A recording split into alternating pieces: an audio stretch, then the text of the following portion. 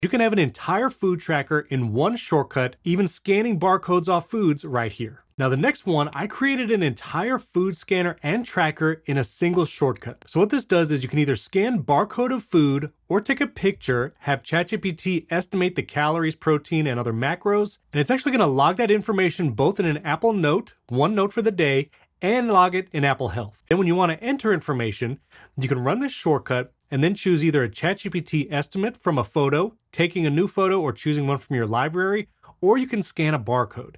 When you choose scan barcode, it opens the camera app, the barcode scanner. Just put a barcode in view of your phone. It's going to use the Open Foods API. It's going to look up that food. You see it actually got it right there. Shows you the calories, protein, and fats here in this little window. And then it's actually going to log that information both to Apple Health and to an Apple Note.